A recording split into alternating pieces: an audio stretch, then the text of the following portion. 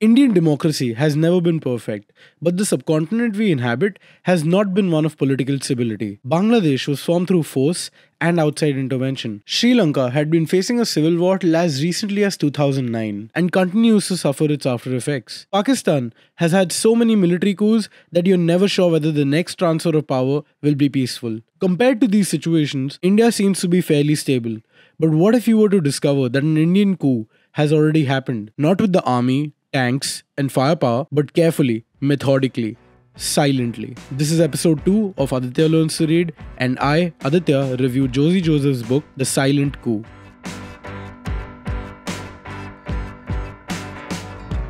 Before I begin my review of this book, I need to set the context right. The Silent Coup is a book by the investigative journalist Josy Joseph. He has put decades of work into this book and his other investigative work, so I'm really not qualified to be critically judging the book for its journalistic efforts or for its facts or any of that. I'm taking all of this at face value and I think there is good reason for that because everything in this book has been cited with either news articles, police reports, or court judgments. Another very good reason to take the facts that this book presents at face value is because the claims that the book makes are against some of the most powerful people in this country across party lines. In fact, while reading this book, I was seriously thrown into a massive bout of pessimism about my own country. Because when you read it, you realize that it is not one political party or the other who is responsible for the failure of democracy in India at so many levels.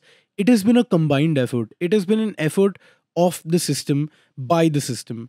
And that is something that really strikes you on every page of this book. On its cover page, the Silent Coup describes itself as a history of India's deep state, and it does so by dividing the book into two parts. The two parts are 1. A Tale of Mumbai, and 2. Many Tales of India. Part 1 focuses on the excesses and tortures made by the Mumbai police in response to the many terror attacks that occurred in the city in the first decade of the 21st century. And to be more specific, the story of a school teacher named Wahid who was repeatedly arrested and tortured by the Mumbai police. When you read this book, and I highly recommend that you do, you will understand exactly why Josy Joseph has chosen to dedicate half of this book to one specific case of torture and injustice. It is a perfect example of how warped and criminal the Indian security establishment can be when they want to be. Wahid's unfortunate relationship with the Mumbai police began a few days after the 9 11 attacks in New York. He was picked up by the Mumbai police on the tip of an informant. This informant claimed that Wahid was a member of the banned organization Simi.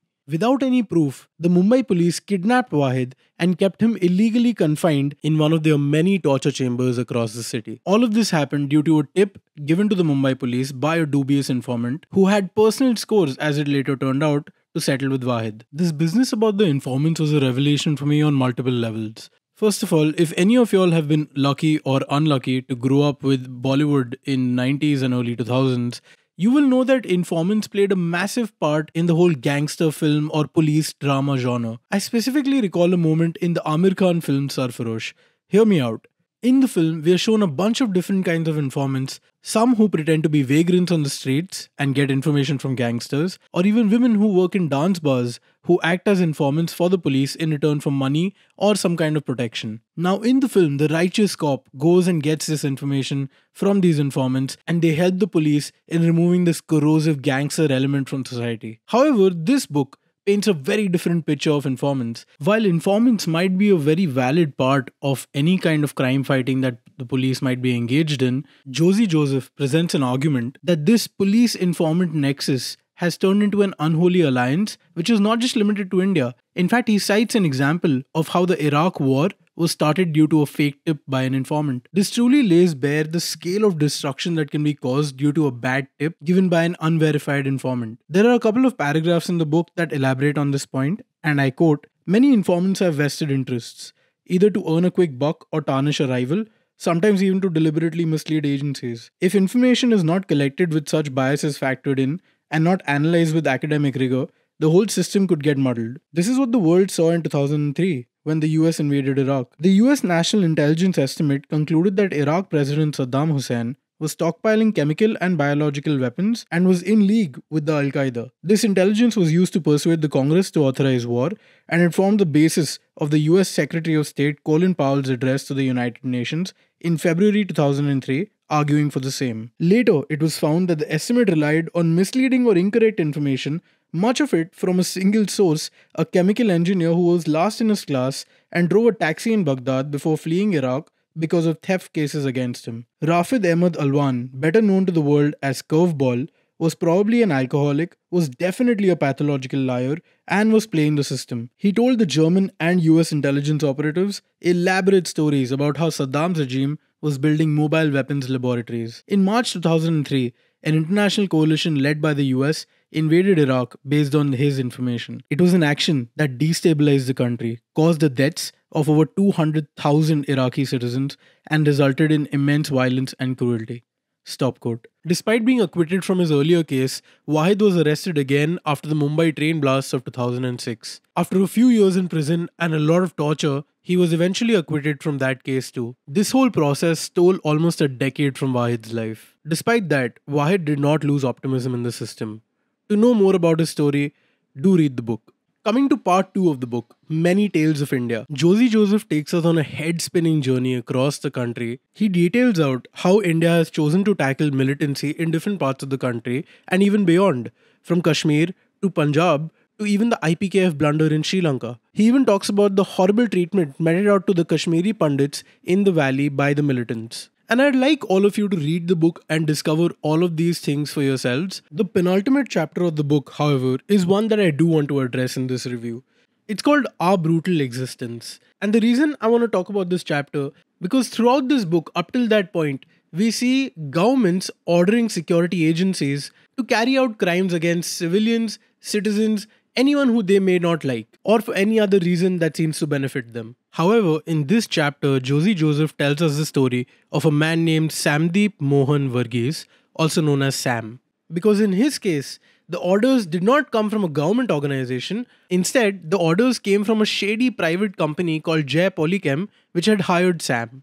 I won't go into too much detail, but Sam essentially found out certain irregularities in the company and spoke about them, only to get into a weird Kafkaesque world that Jay Polychem had designed for him. This private company seemed to have access to an entire state's police force at its behest. This state was the state of Punjab, and Josy Joseph uses this story to tell the long, sordid history of Punjab police's many crimes. Eventually, Josy Joseph ends the book with a chapter titled The Gujarat Model. In this chapter, Josy Joseph talks about how the real Gujarat model was very different from the one that was advertised to the country in the year 2014. Citing numerous examples, he talks about the many encounter killings carried out by the Gujarat police under the then CM Narendra Modi. In the chapter, it is detailed out how an entire state's police machinery was used to build up the image and political career of one man.